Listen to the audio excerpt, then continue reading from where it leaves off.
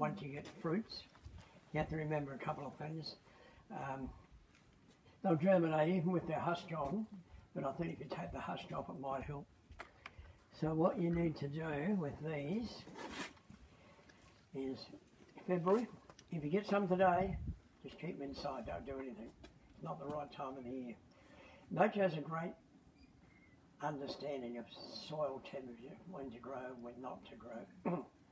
so this particular one, what we do, we put them in a bucket of water on a hot February day or January, doesn't really matter. And in the morning for a couple of hours to soak.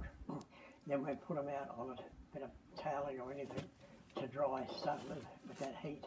And what happens with, with the heat, the little nut shrinks, and although you can't see it, it develops a little hairline crack in the apex of the seed. Stage one. Stage two, do nothing about it. Just wait. Put them in a, don't put, don't leave them in plastic, put them in a, in a brown paper bag, and then wait till, oh, early April's alright.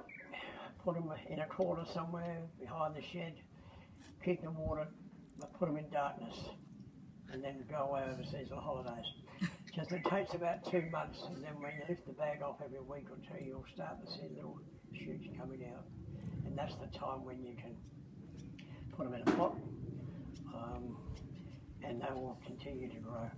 Peter, tell us your experience.